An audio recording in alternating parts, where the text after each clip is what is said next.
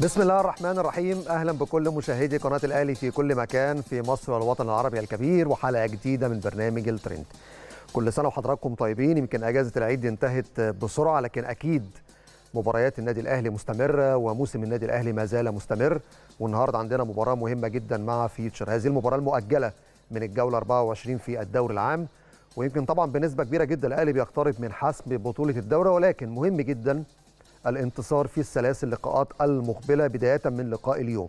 لقاء فيوتشر ثم لقاء الإسماعيلي ولقاء الاتحاد السكندري في أوائل الأسبوع المقبل. تسع نقاط يضمن له ليك الإعلان الرسمي لفوز الأهلي بدرع الدوري العام وعودة اللقب من جديد إلى القلعة الحمراء بعد فقدان هذا اللقب الغالي خلال آخر موسمين.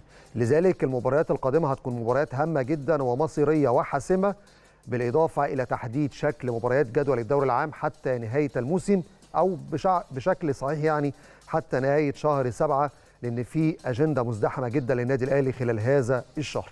حلقه فيها كواليس وتفاصيل وهنتكلم على مباريات فيوتشر وهنتكلم على إرسال أسماء الأندية المشاركة في البطولات الإفريقية هنتكلم على ملف تراخيص الأندية الإفريقية والنهاردة عندنا مفاجآت مدوية في مسألة ملف تراخيص الأندية الإفريقية ولكن نبدأ حلقتنا بسؤال حلقة اليوم وزي ما أنتم متعودين معانا عندنا سؤال دائم في كل حلقة عشان كل السادة المشاهدين يشاركوا معانا في الإجابة على السؤال ويكون في تفاعل بشكل مستمر لبرنامج الترند. سؤال النهارده عايز أعرف توقعات حضراتكم لتشكيل الأهلي في مباراة فيوتشر اليوم. وكمان توقعاتكم لنتيجة اللقاء. التشكيل اللي يلعب بيه كولر وتوقعاتكم للنتيجة. تقدروا تشاركوا معنا عبر صفحات القناة على الفيسبوك وتويتر وإنستجرام. وفي الفقرة الأخيرة هستعرض أكبر قدر من حضرات من أراء حضراتكم على سؤال حلقة النهارده. لكن بسرعة نبدأ حلقتنا بأهم العناوين. في ترند الأهلي الفريق يواجه فيوتشر الليلة في الدوري. وكمان اتحاد الكرة يرسل أسماء الفرق المشاركة في إفريقيا للكاف. وأخيرا ألف مليون مبروك لمنتخبنا الأولمبي التأهل لنصف نهائي أمم إفريقيا تحت 23 سنة. هيواجه غينيا يوم الثلاثاء في نصف نهائي أمم إفريقيا. طيب استعراض مباريات اليوم. النهارده أهم مباراة هي مباراة مؤجلة من الجولة ال 24 في الدوري العام هتتلعب الساعة 8:30 على استاد السلام مواجهه قوية جدا ما بين فيوتشر والأهلي. الأهلي بيسعى لتأكيد الصدارة والاقتراب من الفوز بالدوري العام وفيوتشر قدر الإمكان بيحاول يحافظ على مركزه كثالث الدوري خاصة في منافسة قوية جدا مع الزمالك الموجود حاليا في المركز الرابع في الدوري العام. دي مقدمة مهمة جدا من برنامج الترند نخرج إلى فاصل وبعد الفاصل نرجع لأبرز الأخبار والكواليس وكمان هنتكلم على استعدادات الأهلي لمواجهة فيوتشر مساء اليوم. أهلا بحضراتكم من جديد. اتحاد الكرة يرسل أسماء الفرق المشاركة في البطولات الإفريقية مسابقتي دوري الأبطال وكأس الكونفدرالية. كلام كتير قوي بيتكتب على السوشيال ميديا في مسألة إرسال أسماء الأندية ورخص الأندية المحترفة خلال الفترة اللي جاية. خلاص ابتداء من النهارده مفيش حاجة اسمها رخصة مؤقتة. اللي ياخد الرخصة يبقى نادي محترف ويلعب في المسابقات القارية يا إما يخليه في المسابقات المحلية ويلعب في الدوري المحلي وملوش دعوة بالك... بال... بالكلام الكبير اللي بيتلعب في المسابقات القارية. ده اللي هيحصل ابتداء من أول سبعة. ما فيهاش هزار وما فيهاش نقاش ولا أي جدال. هل في نادي مصري حصل على الرخصة؟ حتى الآن بالنسبة للموسم المقبل 2023 2024 لا. ليه؟ ما اتحاد الكره طلع وقال إن هو خلاص اعتمد الرخص وتم إرسال المشاركات للأندية. لا. الأندية سجلت على السيستم اللي كان وضعه الاتحاد الإفريقي لغاية يوم 30 6 ولكن بدءا من 1 7 هتبدأ مراجعة الملفات حتى هذه اللحظة مفيش أي نادي خد الموافقة الرسمية على إنه خلاص أصبح نادي محترف للموسم اللي جاي ويشارك في المسابقات القارية. السنوات السابقة يمكن النادي الأهلي هو النادي الوحيد اللي كان خد رخصة دايمة اللي هو رخصة الأندية المحترفة. في أندية تانية اتعمل لها استثناء وخدت رخصة مؤقتة لحين توفيق الأوضاع أو تعديل أوضاعها. لكن ابتداء من السنة دي مفيش حاجة اسمها رخصة مؤقتة. يا تبقى نادي محترف وتلعب في المسابقة القارية يا تبقى نادي مش محترف وتخليك في المسابقات المحلية تلعب دوري وكاس وإذا كنت ممكن تلعب سوبر لو أنت ما انسحبتش من السوبر أو ما اعتذرتش عنه ولكن بالنسبة للموسم اللي جاي هتبدأ ملفات أو هتبدأ المراجعة من إحدى اللجان المستقلة للجنة التراخيص في الاتحاد المصري عشان تعتمد رخص الأندية. طيب الاتحاد الإفريقي المفروض إيه الدور المنوط به خلال الأيام اللي فاتت؟ لأن الناس كانت بتتوقع إن الاتحاد الإفريقي يرفض رخص بعض الأندية. لا الاتحاد الإفريقي كل دوره إنه بيستقبل البيانات والاعتمادات الرسمية من الاتحاد المحلي وبيعتمدها لكن لو جت شكوى من أحد الأندية ضد أحد الأندية بأن رخصته غير سليمة وأن الاتحاد لم يعتمد المعايير التي وضعها الاتحاد الأفريقي بيبدا الاتحاد الأفريقي يحقق في الشكوى.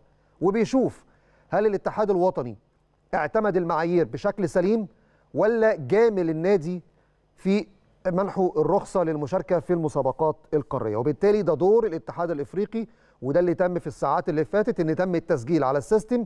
ولكن المراجعة هتبدأ من النهارده أو لأن امبارح كان أجازة فالمفروض تبدأ من النهارده للأيام اللي جاية. البعض بيتوقع إن الأندية اللي قدمت ملفات الرخص بالنسبة للمشاركات القارية أربع أندية.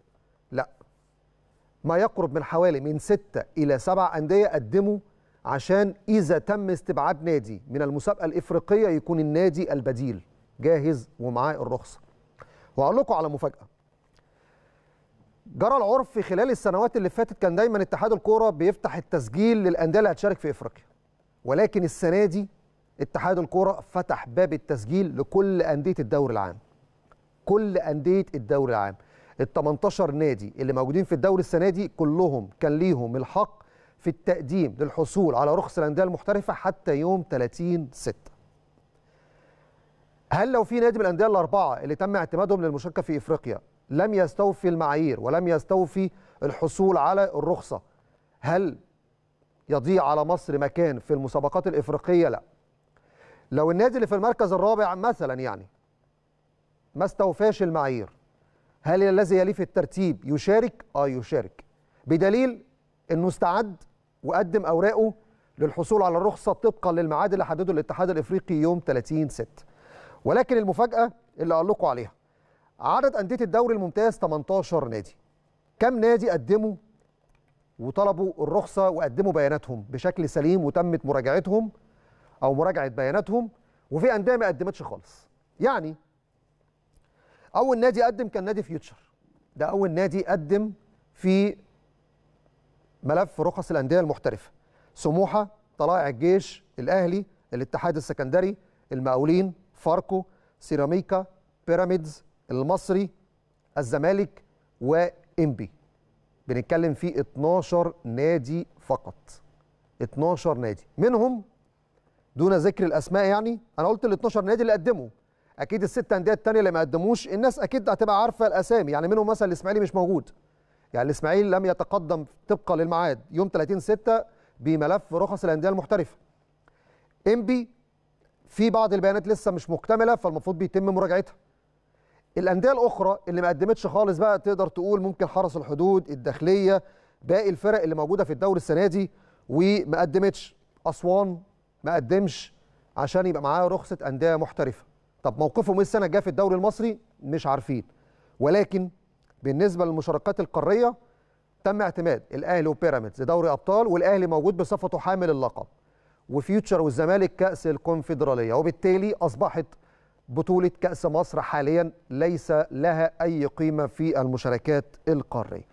طيب السؤال اللي ممكن يطرحه البعض إذا كان اتحاد الكورة وقف وساند وساعد أحد الأندية التي تقدمت بملفها عشان تشارك في البطولات الإفريقية واتعملت تسويه في مسألة المديونية في مسألة المستحقات التي لدى اتحاد الكورة على النادي مستحقات الضرائب التأمينات حقوق اللاعبين كل الملفات اللي إحنا عارفينها والمعايير اللي طلبها الاتحاد الإفريقي. هل اتحاد الكورة هيخطو نفس الخطوات مع الأندية المتعثرة محليا ومش قادرة تكمل بياناتها أو تكمل أوراقها عشان تستوفي الملف وتبقى معاها رخصة أندية محترفة؟ وأنا هضرب مثال بالنادي الإسماعيلي. وأنا هتكلم عن الأندية الجماهيرية. نادي جماهيري كان عنده مشاكل في مسألة الرخصة واتحاد الكرة وقف معاه وطلع قرار من مجلس الإدارة باعتماد الملف واستكمال باقي المعايير عشان ياخد الرخصة. طب نادي الإسماعيلي ما قدمش. أنا بتكلم على المواعيد اللي كانت لغاية 30 6 نادي الإسماعيلي ما قدمش. هل اتحاد الكورة هيتعامل بنفس المعيار ويكون في عدالة في التعامل ما بين الأندية ويسامح أو مش يسامح يدي مساحة لنادي الإسماعيلي إن هو يكمل ملفه بشكل سليم يعمل تسوية معاه في كافة الإجراءات المفروض الإسماعيلي يكملها الفترة الجاية عشان يكون على الأقل في يعني عدالة ما بين الأندية هو بتعمل ملفاتها. ما تبقاش القصة كلها رايحة في مجاملات لطرف والأطراف الثانية تخبط راسها في الحيط. انبي الإسماعيلي أي نادي تاني بقى عنده مشكلة في الملف المفروض الفترة الجاية اتحاد الكورة يساعد الأندية كلها بما إنه بيساعد أحد الأندية عشان يستوفي الملف بتاعه والمعايير بتاعته. دي الجزئية المتعلقة برخص الأندية المحترفة. قلت لكم حصريا على شاشة قناة الأهلي الأندية وعددها اللي قدمت للحصول على الرخصة من ال 18 نادي في الدوري العام ومين خد اوبشن إن هو يتعمل له تسوية ومين نادي تاني عنده مشكلة في استيفاء الأوراق ومحدش قدم له أي مساعدة زي ما تقدم مساعدة لبعض الأندية عشان تستوفي أوراقها. النادي الأهلي هو النادي الوحيد اللي معاه رخصة دايمة للأندية المحترفة ولكن سنويا لازم يقدم أوراقه عشان يقدر يشارك في كل مسابقة قارية. طيب دي الجزئية المتعلقة بالرخص وإرسال أسماء الأندية. لكن النهارده في مباراة مهمة جدا ما بين الأهلي وفيوتشر والمباراة دي على فكرة بتتكلم ما بين أول الدوري وثالث الدوري وهي مباراة بتحمل في تفاصيلها كواليس كتيرة. الأهلي اللي من أجل الصراع على الحفاظ على الصدارة وتأكيد قربه من الفوز بالمسابقة وفيوتشر بيلعب على فكرة الابتعاد عن المنافسة مع المركز الرابع مع نادي الزمالك والتأكيد إن هو ثالث الدوري والأحق بالمشاركة في الكونفدرالية طبقا لترتيبه في الدوري العام. كل التفاصيل دي هنعرفها وكيف يستعد الأهلي لهذه المواجهة من خلال زميلنا فاروق صلاح اللي هنروح له من خلال هذا ال live اللي موجود في فندق إقامة فريق النادي الأهلي عشان نتعرف من فاروق على استعدادات الأهلي لمباراة فيوتشر. مساء الفل يا فاروق. برحب بيك يا محمد وبرحب بكل مشاهدينا مشاهدي ومتابعي شاشة قناة النادي الأهلي في كل مكان. بالفعل يا محمد هي مباراة من مباريات القمة طبقا طبعا ل يعني وجود النادي الأهلي على قمة الدوري وفريق فيوتشر في المركز الثالث. هي واحدة من مباريات القمة خاصة إن فيوتشر كان واحد من الفرق اللي بتنافس النادي الأهلي على درع الدوري مع فريق بيراميدز. ولكن يعني النادي الأهلي يتربى على عرش قمة الدوري وإن شاء الله النهارده مباراة ومحطة مهمة جدا. من ثلاث محطات متبقيين للنادي الأهلي من أجل حسم درع الدوري مواجهة فيوتشر. زي ما أنت قلت مواجهة صعبة جدا. النادي الأهلي يريد إنهاء الدوري مبكرا. فيوتشر ثم الإسماعيلي ثم الاتحاد. الجانب الآخر أيضا فريق فيوتشر. يا محمد زي ما أنت عارف بيريد أيضا الهروب بالمركز الثالث بيفصلوا عن المركز الرابع أو صاحب المركز الرابع نادي الزمالك نقطة واحدة. ولكن يعني أكيد الكابتن علي ماهر أيضا يعني بيزيد من صعوبة هذه المواجهة محمد سواء للنادي الأهلي أو لنادي فيوتشر. إن فريق فيوتشر في آخر خمس مواجهات لم يستطيع تحقيق الفوز سوى في مباراة وحيدة على فريق إنبي. دي من الأمور طبعا اللي بتزيد من صعوبة هذا اللقاء. لكن تقدر تقول يا محمد لعيبة النادي الأهلي النهارده إن شاء الله في كامل تركيزهم الاستمرار على الأداء الجيد اللي إحنا لامسينه والجميع لمسه خلال الفترة الأخيرة بإذن الله. تكتمل الصورة إن شاء الله النهارده والفوز على فريق فيوتشر ويكون ثلاث نقاط مهمة جدا يقربوا النادي الأهلي من درع الدوري بإذن الله. الجمهور مش قادر ينسى فاروق إن فيوتشر كان من الفرق اللي آه يعني عطلت الأهلي شوية في الدور الأول بعد سلسلة من الانتصارات لكن جه تعادل مع فيوتشر.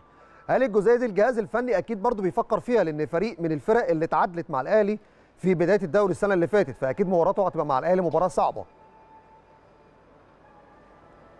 بالفعل يا محمد هي واحدة طبعا من المحطات الصعبة جدا والمستر مارسيل كولر اتفرج على مباراة الدور الأول اللي جمعت ما بين الفريقين ووقف على أمور كتير جدا اتكلم فيها في المحاضرة الفنية اللي جمعت ما بين المستر مارسيل كولر واللاعبين بالأمس قبل طبعا اختتام تدريبات النادي الأهلي على ملعب مختار التتش دي كانت من النقاط المهمة جدا اللي اتكلم فيها مستر مارسيل كولر على فريق فيوتشر وقال إحنا في المباراة دي أحرزنا هدف مبكر وأهدرنا كثير من من الفرص في هذه لو كنا حققنا الانتصار في هذه المباراة أعتقد كان من الممكن إن إحنا حسمنا برضو الدوري قبل ما ننتظر لثلاث لقاءات هننتظر لقاءين. أكد على أهمية يعني ضرورة يعني إن إحنا ما نكررش سيناريو المباراة الأولى أو المباراه الدور الأول اللي انتهت بالتعادل الإيجابي بهدف لكل فريق. ضرورة احراز الهدف مبكر في يعني بتتكلم في أول 10 دقائق وأول ربع ساعة ثم إحراز الهدف الثاني. ودي اللي يعني تقدر تقول الهدف الأساسي اللي مستر مارسيل كولر بيتكلم فيه فيه دايما مع اللاعبين يعني تقدر تقول يا محمد بلغة الكورة وبنتكلمها بكل بساطة لو الكورة أو الظروف خدناك إنك تجيب هدف إيه المانع إنك تجيب الهدف الثاني والثالث ودي الله. الأمور اللي مستر مارسيل كولر بيأكد فيها مع اللاعبين. وعلى الرغم إن النادي الأهلي محمد أنت عارف النادي الأهلي بيحقق آه يعني الثلاثية رقم 14 لكن مستر مارسيل كولر بيتكلم مع اللاعبين أيضا على إهدار الكم كبير جدا من من الفرص. قال إن عندنا فاعلية هجومية يعني غير مستغلة بشكل أمثل. بنحقق عدد كبير من الأهداف لكن عدد الأهداف اللي إحنا بنهدرها. أعتقد من النقاط المهمة جدا اللي مستر مارسيل كولر بيشتغل عليها وبيشتغل عليها خلال الفترة القادمة بإذن الله. طيب لفت انتباهي وإحنا بنعرض الكواليس الحصرية لفريق الأهلي من فندق الإقامة وجود الشناوي مصطفى شوبير علي لطفي. يمكن أنا عايز أتكلم على مركز حراسة المرمى تحديدا يا فاروق لأن الساعات اللي فاتت البعض اعتقد إن في بعض الصور ما كانتش موجودة للشناوي فالبعض اعتقد إن خلاص الشناوي بينهي ارتباطه وممكن يحترف ويلعب في النادي النصر السعودي. قدامنا اهي على الشاشة يا جماعة؟ الشناوي موجود في قائمة النهارده موجود في مباراة النهارده. عشان ال social media بقى لها يومين بتتكلم عن إن في عروض إن الشناوي رايح النصر السعودي الشناوي مش في المعسكر الشناوي مش في التدريبات امبارح. وأول أهي الصور موجودة ولقطات وصوت وصورة من فندق إقامة الأهلي يا فاروق. وكلمنا أكتر على فكرة استقرار مركز حراسة المرمى في الأهلي بما إنك طبعا قريب جدا من علي ومن الشناوي ومن مصطفى شوبير وبتتكلم دايما على طول مع ميشيل يانكون.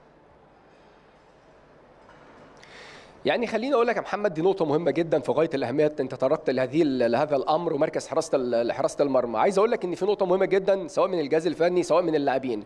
كافة الأفراد داخل منظومة الفريق ال- النادي الأهلي ما حدش بيتطرق تماما لأي حديث أو أي كلام بيثار على ال social media. ما فيش أي كلام من هذا ال- الأمور بتأثر على اللاعبين بتأثر على الجهاز الفني سواء في قراراته أو يعني أو من مع اللاعبين. الجميع مركز في هدف واحد هو ضرورة اقتناص أو عودة درع الدوري من جديد للنادي النادي النادي الأهلي أو عودته إلى ال- يعني مكانه المفضل في آه، قلعة الجزيرة. المستر مارسيل كولر والجهاز الفني اللاعبين محدش يعني أمور كتير جدا يا محمد وأخبار كتير جدا بتثار على ال social media ولكن اللعيبة لا تتطرق لهذه الأمور. الجميع مركز في هذه. يعني المرحلة اللي إحنا فيها خاصة مرحلة حسم ال- الدوري وده شايفينه بينعكس على اللاعبين. محمد أنت اتكلمت طبعا على الكابتن محمد الشناوي كابتن علي لطفي كابتن مصطفى شوبير. عايز أقول لك أيضا إن مستر مارسيل كولر والشناوي وميشيل يانكون و... أو أيضا علي لطفي ومصطفى شوبير بيتابعوا كمان حمزة علاء وبيهنوه على أدائه مع المنتخب مصر ال- ال- الأولمبي. مستر مارسيل كولر بيتابع وبيتفرج مباريات المنتخب المنتخب مصر الأولمبي بيتفرج على أحمد نبيل كوكا ويتفرج على حمزة علاء. خطوط اتصال مفتوحة ما بين الكابتن محمد الشناوي مع حمزة علاء. عايز أقول لك إن كل اللاعبين عقب المباراة بال- بالأمس أو يعني عقب المباراه يعني كل نهاية كل مباراة. الشناوي بيبقى أول حد بيتصل بيه آه، حمزة علاء مصطفى شوبير علي لطفي. دي الروح اللي إحنا لمسناها محمد من من اللاعبين. الأمور كلها يعني أي فرد هيكون موجود في حراسة مرمى النادي الأهلي سواء الشناوي سواء علي لطفي سواء مصطفى شوبير أعتقد الروح اللي إحنا لمسينها وميشيل يانكون عامل روح جميلة جدا ما بين ال- اللاعبين. ولكن الدور الأكبر أنت بتتكلم لقيمة ومكانة محمد الشناوي إن كل الحراس بتحب محمد الشناوي. يعني بتتكلم على علي علي لطفي الروح اللي, ما اللي دايما بتلمسها من الشناوي اللي يكون أول واحد بيتكلم علي لطفي. أيضا نفس الأمر بينعكس مع مصطفى شوبير مع حمزة علاء. أعتقد أمور كلها بتطمن جماهير النادي الأهلي محمد على مركز حراسة المرمى في النادي الأهلي. طيب ممكن يكون كولر ريح مين النهارده من الماتش لأن إحنا طبعا عارفين الجدول الفترة الجاية كل 72 ساعة مباراة. أنا شايف قدامي في اللقطات حسين الشحات موجود كهربا موجود قفشة القندوسي ياسر خالد عبد الفتاح. آه هل بقى مروان بتكلم على فكرة بقى باقي اللعيبة.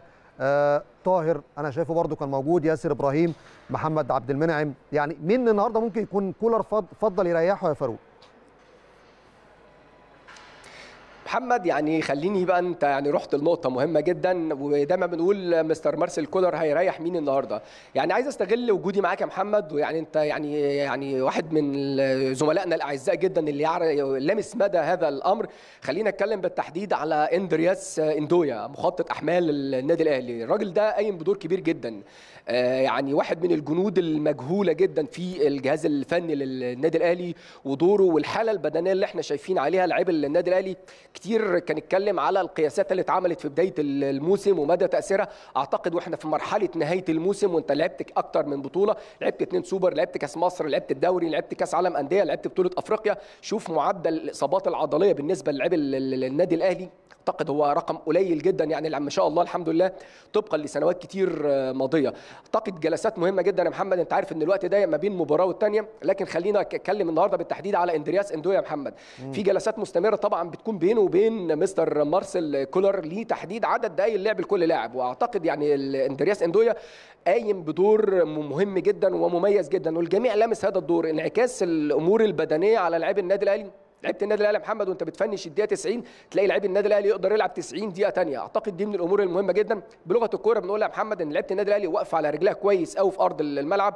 أعتقد ده دور مهم جدا لاندرياس إندويا. طبعا موضوع راحة اللاعبين ده بيتم بالتنسيق طبعا ما بين مستر مارسيل كولر وإندرياس إندويا. يعني أعتقد أقول لك يا محمد من بعض برضو الأمور أو الكواليس إن طبعا أنت عارف يا محمد الأجهزة الحديثة اللي استخدمها النادي الأهلي سواء للجهاز الطبي أو يعني مخطط الأحمال اندرياس إندويا يقدر يحدد يعني تلاقي بيبقى في تواصل ما بين إندرياس إندويا يحدد لمستر مارسيل كولر إن اللاعب ده النهارده يلعب 70 دقيقة 80 دقيقة اللعيب ده يقدر ياخد ربع ساعة اللعيب ده ياخد 10 دقائق تقدر تعمل ال rotation بشكل منظم جدا ما بين اللاعبين. وبالتالي يا محمد أنت لما بتلاقي لعيب بيدخل داخل بي ويدخل مكانه لعيب الشكل الأداء بيبقى واحد. ال يعني الرسم البياني أو الرسم اللي لعيب النادي الأهلي في أرض الملعب أعتقد ونفس أسلوب اللعب أعتقد دي منظومة مهمة جدا قدر يحافظ عليها مستر مارسيل كولر طبعا بوجود واحد زي إندرياس إندويا اللي أعتقد إحنا كلنا لامسين دوره يا محمد. إحنا طبعا موجودين مع الفريق في المعسكرات في السفر في أي مكان لامسين دوره واحد من ال يعني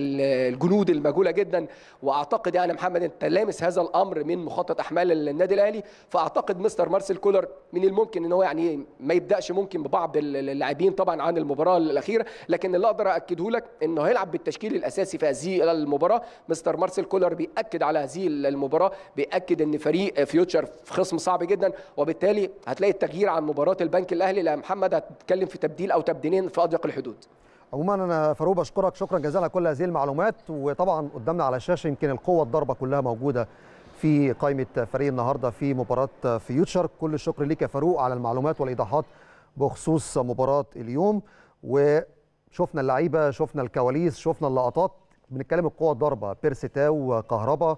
بنتكلم في وجود طاهر حسين الشحات قندوسي كريستو شناوي مصطفى شوبير علي لطفي ياسر إبراهيم محمد عبد المنعم رامي ربيعة. ربنا يوفق الفريق النهارده. كمان شفنا علي معلول محمد هاني خالد عبد الفتاح مروان عطية حمدي فتحي بس مش هتشوفوه النهارده. موجود في القائمه لأنه خلاص يعني خلال ساعات أكيد هيبقى في إعلان رسمي في مسألة انتقاله لإحدى الأندية القطرية خلال الفترة اللي جاية.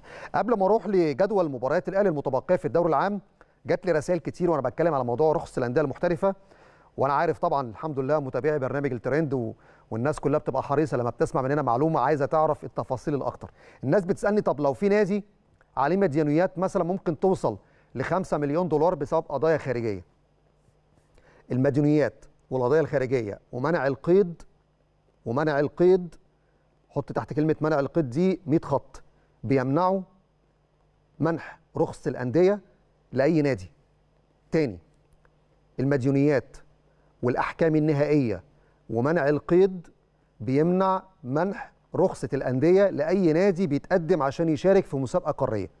ولكن يجب أن تكون هذه الأحكام وهذه القرارات المتعلقة بالمديونيات والأحكام النهائية وقرار منع القيد قبل 31 مارس. أي قرار صدر بعد 31 مارس وفي حال استمراره للموسم بعد القادم يمنع منح النادي أو يمنع منح أي نادي رخصة الأندية المحترفة. ولكن هذا الموسم تحديدا لو قدمت بالملف بتاعك في شهر 6 عشان تاخد الرخصة عشان تشارك في المسابقة القارية الأحكام النهائية وقرار منع القيد والمديونيات إذا صدر بها قرارات بعد 31 مارس لا تمنعك ومن حقك إنك تاخد الرخصة. عشان كده الاتحاد الأفريقي حط مواعيد معينة. قبل 31 مارس ما تقدرش تاخد الرخصة. بعد 31 مارس لا تاخد الرخصة بتاعتك. ولكن عندك سنة كاملة تسوي هذه الأحكام لغاية لما تقدم على الرخصة في الموسم بعد القادم. طيب آخر حاجة قبل ما أطلع لفاصل تعالوا كده نستعرض نشوف خريطة الأهلي الفترة اللي جاية أجندة الأهلي الفترة اللي جاية. أجندة مزدحمة. وأنا خايف وأنا بتكلم وبستعرض ترتيب المباريات الواحد يتعرض لأي شد عضلي لأن بصراحة المشهد مشهد يخض. بصوا يا جماعة النهارده 2 7 الساعة 8:30 ماتش فيوتشر والأهلي. دي في الجولة 24 مباراة مؤجلة. يوم 5 7 الأهلي هيلاعب الإسماعيلي في برج العرب دي مباراة مؤجلة من الجولة 18 الساعة 8:30 يوم 8 7 الاتحاد هيلاعب الأهلي في برج العرب أيضا. مباراة مؤجلة من الجولة ال 21 الساعة 7 يوم 13 7 الأهلي والزمالك. دي مباراة مؤجلة من الجولة ال 31 الساعة 8 ونص. يوم 16 7 الجولة 34 ودي بقى المباريات اللي هتتلعب في نفس التوقيت. الساعة 7 يوم 16 7 بإذن الله. دي الجولة ال 34 نرجع بقى ل 19 7 دي الجولة 33 مباراة مؤجلة من الأهلي وحرس الحدود. واتحطت في التوقيت ده لأن الحرس كده كده خلاص هبط للدرجة الثانية فبالتالي مش مشكلة لو أجلت هذه المباراة من الجولة 33 ولعبتها بعد الجولة 34 ثم آخر مباراتين في الدوري. الأهلي هيلاعب بيراميدز في استاد الدفاع الجوي يوم 23 7 الساعة 7 ودي مباراة مؤجلة من الجولة 28 وآخر مباراة في الدوري مباراة مؤجلة من الجولة 30 المصري والأهلي يوم 26 7 مباراة في كأس مصر يوم 30 7 مباراة مؤجلة في دور ال 16 ما بين الأهلي والداخلية. وكلنا عارفين إن بكرة وبعده في مباريات هتتلعب في دور الثمانيه البنك الأهلي وبيراميدز بكرة يوم الثلاث إنبي هيلاعب النجوم والزمالك هيلاعب المقاولين. لكن الفاز من الأهلي والداخلية مع الفاز من المصري وحرس الحدود في دور الثمانيه لسه ما تحددش ميعادها. هل دور الثمانيه وال semi final وال final يتلعبوا في أول أسبوع في 8 كلام مش نهائي لأن اتحاد الكورة مستني يشوف موقف الزمالك في البطولة العربية. لو خرج من الدور الأول بعد إقامة أول ثلاث لقاءات يرجع وإذا كمل في الكاس يلعب مباراة ال semi final وإذا كسب يلعب ال final إذا الزمالك خرج كأس مصر هيستكمل أثناء إقامة البطولة العربية عشان الدوري كله يختتم مع الكاس في الأسبوع الأول من شهر أغسطس المقبل طب الاهلي بعد ما يخلص التسع مباريات دول خلال شهر سبعة تسع مباريات في 30 يوم يعني بنتكلم معدل ثلاث أيام أو أربع أيام إلا حاجات بسيطة يعني في يعني كل 72 ساعة مباراة. إيه اللي هيحصل في شهر 8 لو الأهلي كمل في الكاس هيلعب المباريات المتبقية زي ما قلت موعدها كده في الأسبوع الأول من شهر 8 وبعدها هل ممكن يكون في مباريات رسمية؟ بنسبة كبيرة جدا. مش هتكون في أي مباريات رسمية إلا على انطلاق الدوري في أواخر تسعة أو مع مشاركة الأهلي في دوري السوبر الإفريقي في شهر 10 فهتبقى في فرصة طيبة جدا للأهلي ياخد راحة في الجزء الأخير من سبعة مع 8 مع أول تسعة. الناس بتقول لي طب مباراة السوبر الأفريقي الأهلي واتحاد العاصمة؟ حتى الآن مفيش تأكيد لإقامة موعدها. طبقا للأجندة يوم 13 8 ممكن تترحل في فبراير 2024 عقب كأس الأمم الإفريقية لسه الكلام النهائي محدش عايز يأكده لكن مفيش تأكيدات إن أجندة 13 8 سوبر إفريقي الاهلي اتحاد العاصمة الكلام ده لسه مش نهائي وفي. يعني في اتجاه للتأجيل لفبراير 2024 عقب كأس الأمم الإفريقية لأن في اتجاه أيضا إن المباراة تتلعب خارج القارة الإفريقية. نخرج إلى فاصل وبعد الفاصل نرجع لآخر أخبار الترند. تفاصيل كتير وأخبار كتير في ال social media عن النادي الأهلي، نتابع في آخر أخبار الترند. طيب نبدأ ترند الأهلي ونشوف اللي مكتوب النهارده في ال social media، بما إن النهارده في مباراة مهمة بين الأهلي وفيوتشر كورة بلس كان حريص إنه يبدأ ويتكلم على التشكيل المتوقع اللي ممكن يلعب بيه الأهلي مباراة اليوم.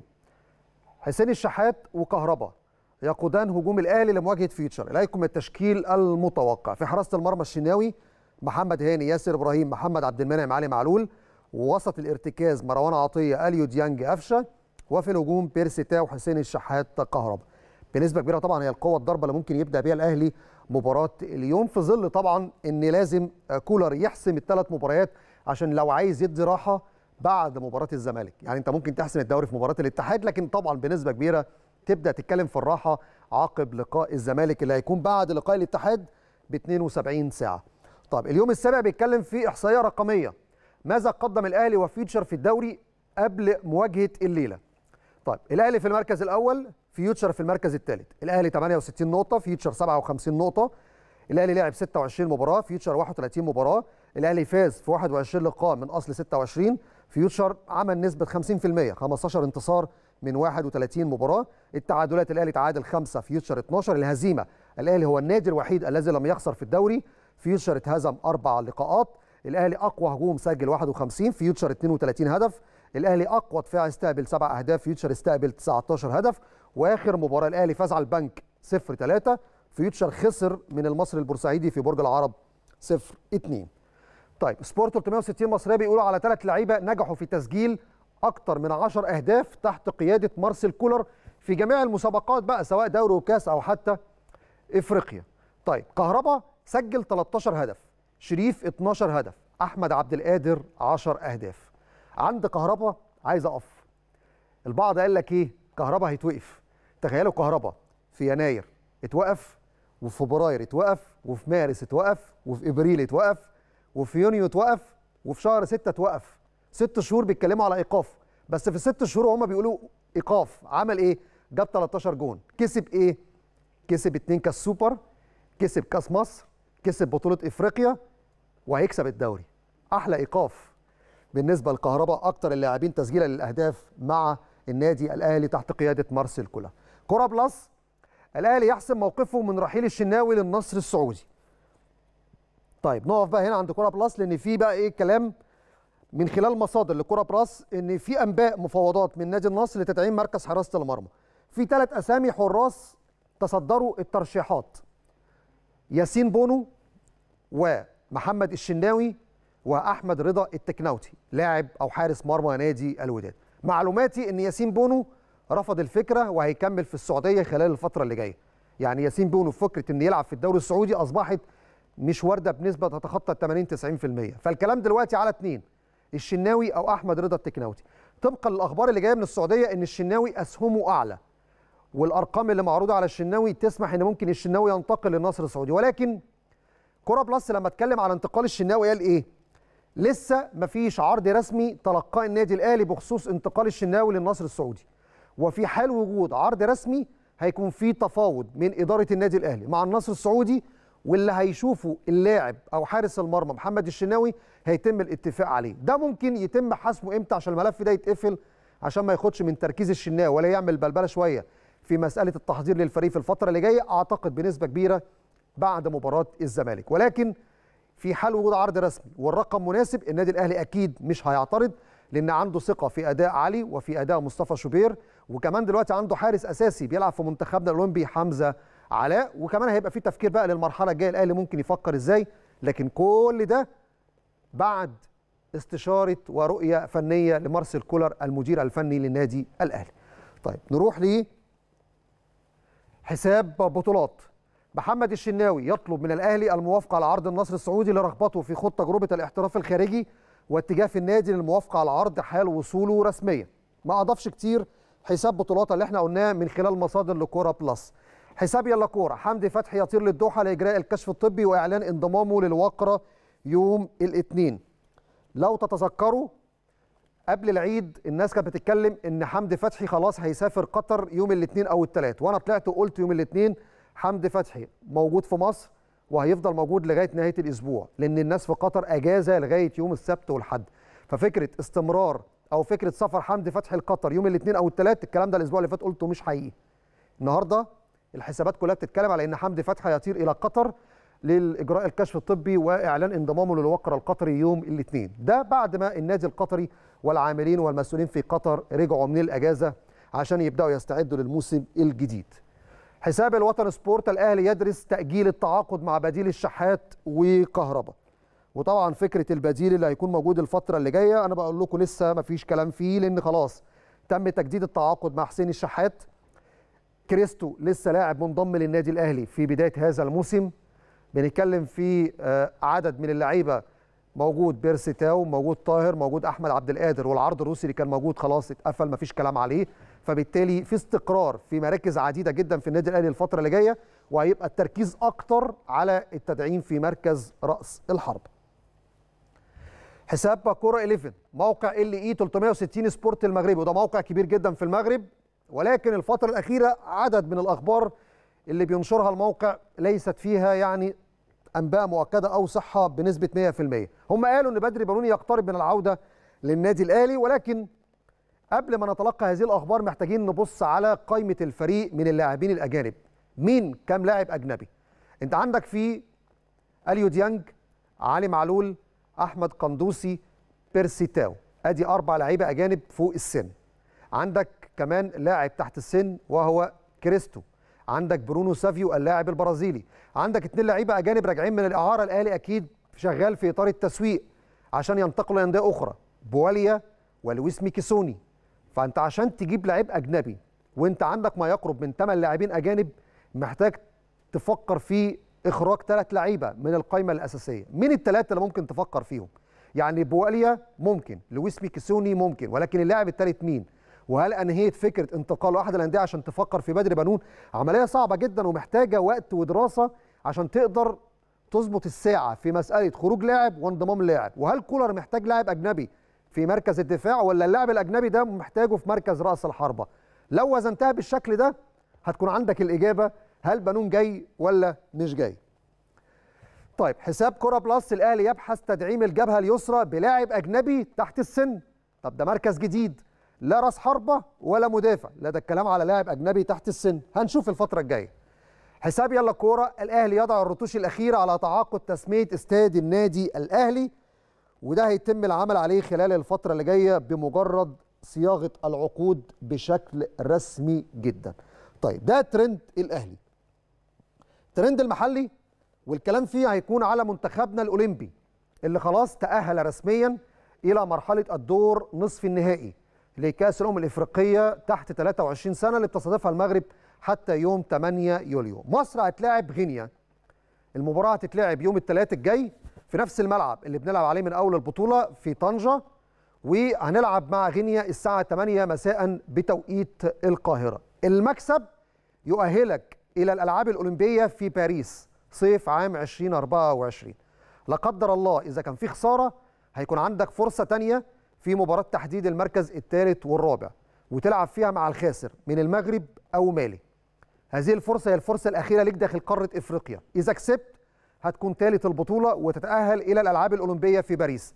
ولكن لا قدر الله إذا خسرت هتنتظر لقاء آخر في تصفية مع رابع آسيا خلال شهر إبريل المقبل ومباراة هتتلعب في قطر. وبالتالي مش هتكون على أرضك ومباراة ممكن تكون صعبة جدا وظروفك وتوقيتك ممكن ما يكونش مناسب ليك. وبالتالي مهم جدا نكسب غينيا عشان حاجتين.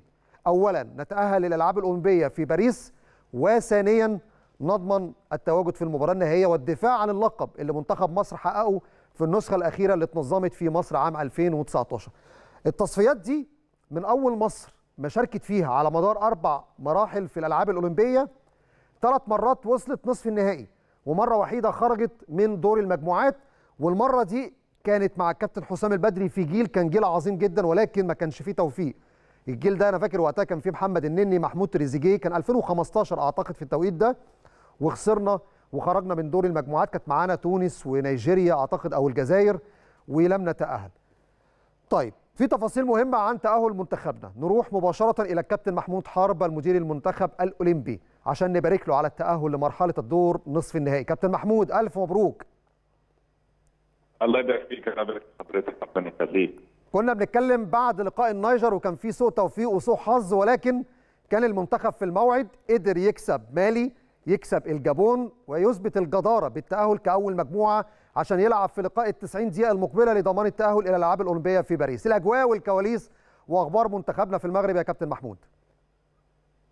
والله الحمد لله كل حاجة كويسة. الحمد لله نشكر ربنا طبعا ونشكر اللعيبة والجهاز على كل اللي عملوه مجهود كبير. آه زي ما حضرتك قلت آه فوزين مهمين جدا خلونا على صداره المجموعة. وأهم من كده إن هم خلونا في مدينة طنجة إن إحنا نكمل ماتشاتنا في مدينة طنجة. آه إن إحنا هنلعب إن شاء الله semi final في طنجة مش هنسافر للرباط آه الحمد لله كل الناس كويسة ما عندناش إصابات. حتى إن شاء الله يبقى جاهز الماتش الجاي. والحمد لله برضه ما عندناش ايقافات ولا عندنا حاجة. كل اللعيبة جاهزة للمشاركة في الماتش الجاي إن شاء الله. المباراه امبارح كانت فيها خشونة قوية جدا. هل الحمد لله اللعيبة كلها خرجت سليمة؟ ما فيش أي إصابات؟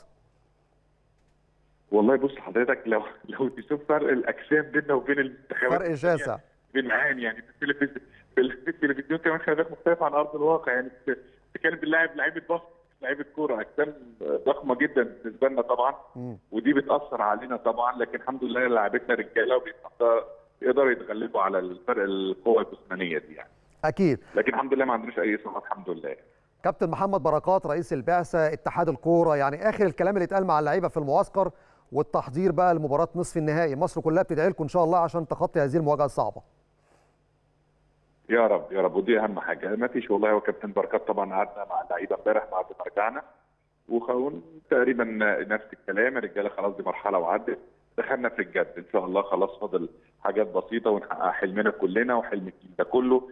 إن إحنا إن شاء الله نوصل الاولمبياد مع معالي الوزير كلمنا برضه بارك للعيبة وحثهم برضه على المباراة الجاية أستاذ كمال علام كلمنا برضه بعد الماتش.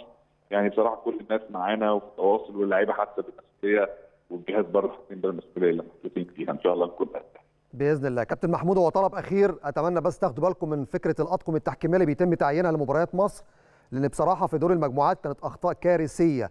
ولولا الفار امبارح كان موجود وبيصر وبيؤكد إن في ركلة جزاء حكم امبارح كان ممكن حتى ما يحسبش ركلة الجزاء. فنتمنى يكون في طاقم تحكيم جيد يليق بمباراة الدور نصف النهائي أمام غينيا في ظل الأخطاء التحكيمية الكبيرة اللي موجودة في هذه البطولة. والله إحنا كمان نتمنى ونبهنا برضه على الكاس اتكلمنا معاهم في الموضوع ده. آه إحنا مش عايزين أكتر من نفر بلاي بس مش عايزين أكتر من كده. الحكم عادل لكل الفرقتين. لأن زي ما أنت بتقول غلطة زي دي ممكن تضيع حلم تضيع مشروع فرقة تعبت سنين عشان تحقق حلمها يعني. أكيد.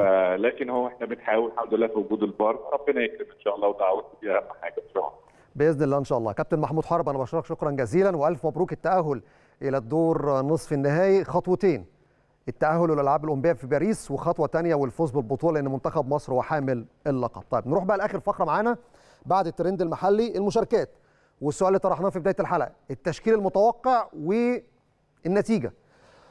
الزعيم الأسواني بيقول الشناوي هاني ياسر عبد المنعم معلول مروان ديانج قندوسي تاو الشحات كهربا إن شاء الله 2-0 أكيد حاطط نسر الأهلي يبقى 2-0 الاهلي أستاذ محمود علي بيقول أتوقع الشناوي في حراسة المرمى. خط الدفاع هاني منعم ياسر معلول. الوسط ديانج مروان قفشة. في الهجوم تاو كهربا الشحات. ولكن محمود لم يتوقع النتيجة. أستاذ حمادة بيقول أتوقع الشناوي في حراسة المرمى. الدفاع هاني منعم ياسر معلول الوسط ديانج مروان قفشة الهجوم تاو كهربا الشحات ما توقعش النتيجة. أستاذ شعيب بيقول إن شاء الله هنكسب 2-0 التشكيل المتوقع الشناوي ياسر منعم معلول هاني ديانج مروان السوليه مصاب على فكرة مش موجود في القائمه الشحات تاو شريف بالتوفيق إن شاء الله للنادي الأهلي. آخر تعليق معايا أستاذ أحمد أمين بيقول مساء الخير عليك يا أستاذ محمد تحياتي ليك أهلا بحضرتك. أتوقع التشكيل هيكون الشناوي هاني ياسر منعم معلول ديانج مروان قفشة حسين الشحات أحمد عبد القادر كهربا. كل التوفيق للنادي الأهلي إن شاء الله 2-0 الاهداف كهربا وحسين الشحات. دي أبرز التعليقات على السؤال اللي طرحناه في بداية الحلقة. إن شاء الله بإذن الله الكل متفائل الفوز وتأكيد الصدارة وتبقى مباراتين على الإعلان رسميا الأهلي بطل للدوري العام ولكن نتمنى يا رب بإذن الله يكون الاحتفال عقب مباراة الاتحاد وفي لقاء الزمالك وميزة إن لقاء الزمالك جاي بعد لقاء الاتحاد وننتظر ونشوف نتائج المباريات القادمة عشان الاحتفالية بالبطولة الخامسة خلال هذا الموسم. في الختام بشكر حضراتكم بالتأكيد على حسن المتابعة والمشاهدة وغدا لقاء جديد في برنامج الترند شكرا وإلى اللقاء.